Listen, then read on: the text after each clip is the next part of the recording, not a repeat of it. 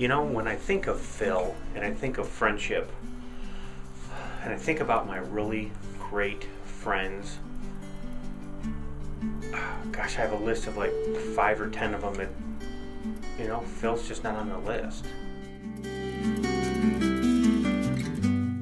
My favorite childhood memory of Phil, we're in the sandbox and he's got me in a headlock and he's, you know, punching me in the head and then he just pushes my face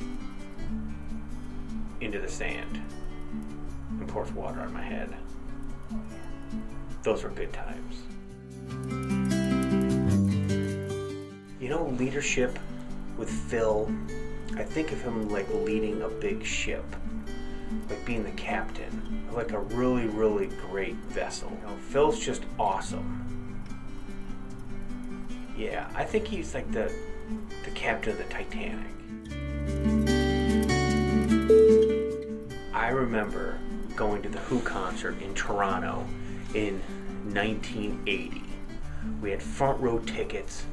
Pete Townshend smashed his guitar and he threw out a guitar pick and Phil grabbed it from my hands and he said, You're a sucker. I have a lot of funny friends, a lot of friends who make me laugh. You know, Phil makes me laugh. He tells jokes and, and I laugh, but I laugh kind of, they're not really that funny. Do you ever have anything that you really, really enjoy, like your iPad or your favorite Country Time lemonade or maybe your cool Napoleon Dynamite statue here?